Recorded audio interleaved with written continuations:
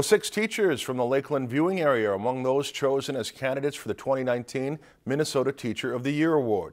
This year's winner will be chosen from a field of 168 overall candidates.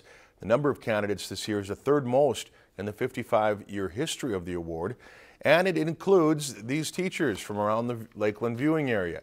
June Dahlgren of Brainerd Public Schools, Stephen Booth of the LaPorte Public School District, Katie Leisure of Long Prairie Grey Eagle Public Schools, Julie Ernest of the Roseau School District, Mandy Gallant of Wadena Deer Creek Public Schools, and Carrie Slindy of Blackduck.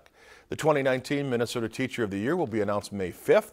Over the coming weeks, a 25-member panel of community leaders will name a group of semifinalists and finalists. If you enjoyed this segment of Lakeland News, please consider making a tax-deductible contribution to Lakeland PBS.